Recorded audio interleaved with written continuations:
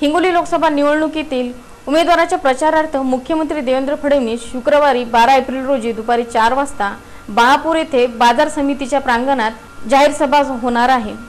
या सभेस भाजपाचे प्रदेशाध्यक्ष रावसाहेब दानवे यांची प्रमुख उपस्थिती राहणार आहे.